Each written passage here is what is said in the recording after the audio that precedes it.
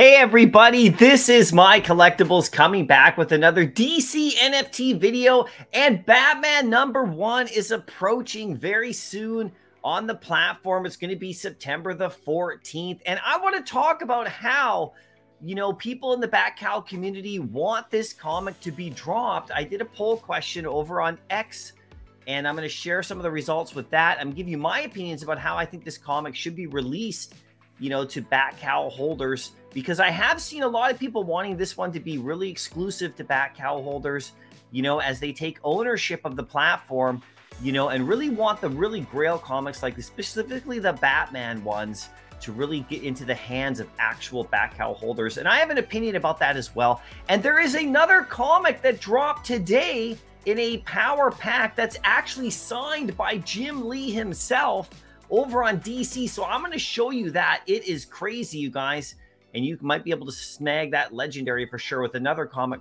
coming the very next day as well, like over on uh, sorry on Thursday. So let's get into this, you guys, right here. Batman number one's coming on September the 14th. Now we don't know exactly what the details are, but like I said, we've been having a lot of people asking questions about you know wanting this comic to only go to Batcowl holders and all that. So I did a poll question and you can go vote on it still. It's still active. This is September the 5th at about 10 a.m. in the morning Pacific time. So this one goes for another 12 hours or so from when I'm doing this video. So check it out. How do you want Batman number one to be released on DC NFT? Do you want it to be the same as the Superman one drop?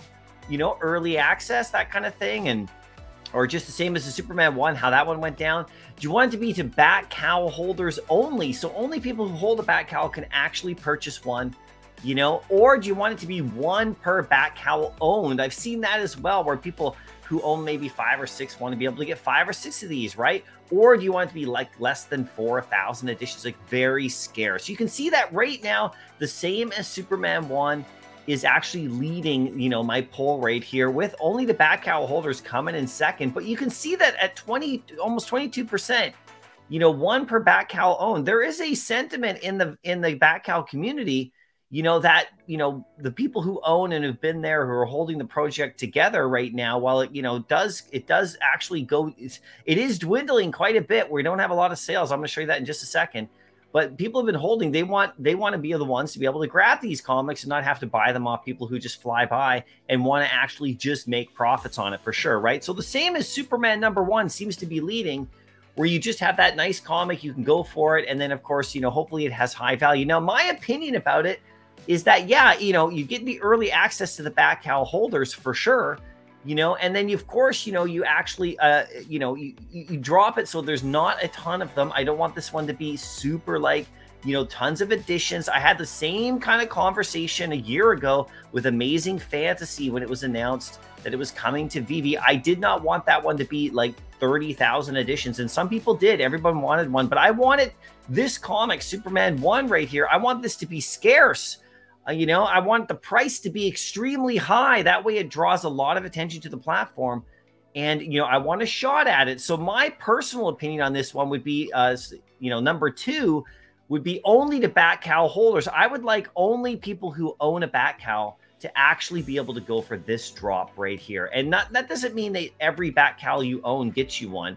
I just think that you have to own a Batcowl in order to get it. That's the way I think these top comics should be you know, and of course we still have Detective Comics 27, which is bigger than Batman 1 in regards to, you know, it's the first appearance of Batman. This one right here is the first appearance of the Joker, though. So this is a huge comic, obviously a huge grail. But mine is is number two there, only to Batcowl holders. I think that would be really special, and it would promote people buying, you know, Batcowls you know, because if you don't own one, you can't go for this particular drop. And then, of course, you know, um, if it didn't sell out or something crazy like that, then you could then open it up. But this is the Grail stuff, so you know this is going to sell out. I like the numbers of Superman 1, so I like to keep it all on the same level like that.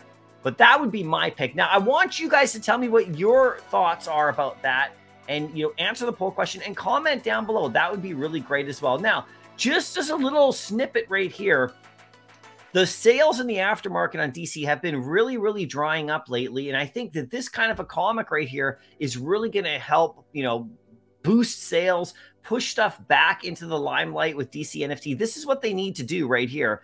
Because you can see, even just on the 4th, which is yesterday, top four selling market collectibles you know, we had five Batcowls sold, right? And only uh, in on all market sales on that one day are 119 total sales on the platform in one day. And so that's up 53% from the previous day before. So, you know, you can see that there's not a lot of activity in the market right now, you know, over on DC NFT. There's not really much going on. But I have noticed if you go to the DC uh, NFT feed tracker right here, you I, you can watch people buy stuff right here. So you can see Detective 38 sold, another Detective 38 sold, a Superman sold, a Detective 38. So you can see in the background that people are actually buying stuff up and slowly stacking while the while the market is quiet, putting these things away, hoping that you know things will turn around. Now check it out. This is the kind of thing I've been talking about on the Batcowls. This is what I want more of. I want 3D beautiful animated collectibles you know, here's a fandom Batman and Catwoman mint. This is this one just sold as well, right? But you know, I'm not saying I want this exact thing, but look at how beautiful these collectibles are on DC. This is what they need to start adding more of, in my opinion, to get more attention back. You know, they need to give us some 3D stuff. I'm hoping that they they're the ones that, that you know DC NFT is the ones that does the Batmobile first out of everybody I mean, that would make sense for sure, right? So anyway, that's what I'm hoping for. Now, there is something going on right here. This is the one I'm going to show you right here. This is the Jim Lee signed Batman number 609 that was released today. This is the legendary. So, you know, this one is really quite something, guys. This is available right now. So if you go to DC NFT, excuse me, you go to their um, you know, store right here. You can buy it in this super power pack down here. Go down to the super power pack it's 10 bucks. It's all these beautiful Batman comics. The Epic is really cool. There's the Legendary over there, and it is actually signed by Jim Lee. First digital signature one ever. So if you go for this one, you might be able to get that one. Right now, it's going for about 70 to 80 on the market but there's only one or two listings and i think it's going to go much higher this is going to be so something else people don't know about this one and you can see it's right there but if you actually go to my collection there it is right there. I actually went for the uh the power pack. I actually did not get this one on the power pack.